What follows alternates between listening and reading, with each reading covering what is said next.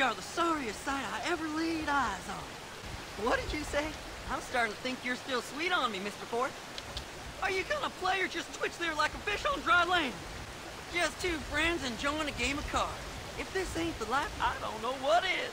Oh, don't worry about old Marston. He's in our world now. You ain't exactly a raconteur, are you?